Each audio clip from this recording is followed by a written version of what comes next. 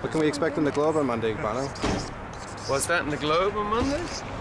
What are you going to bring to the paper? Well, it's a great newspaper. I think that um, it, it's either very brave or very foolhardy that they gave myself and Bob the chance to run it. What's your name? Uh, Melissa.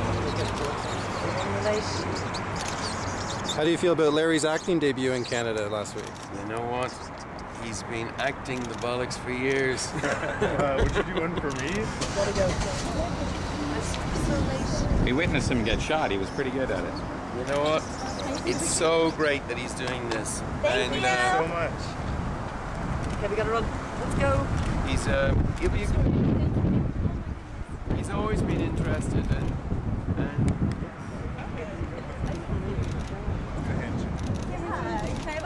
thanks. See you guys. I don't want to leave now. this is really Tell us, tell us one thing the average person could do to Bye, help bye. to help the people in Africa. Gotta go.